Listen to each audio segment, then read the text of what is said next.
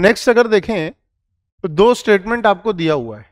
ठीक है? तो Frenkel defects are vacancy as well as interstitial defect बिल्कुल सही बात है वैकेंसी क्रिएट होती है और इंटरस्टिशियल साइड पे चले जाते हैं। Frenkel defect leads to colour in ionics नहीं एफ़ सेंटर इसकी वजह से नहीं होता। तो स्टेटमेंट टू गलत है।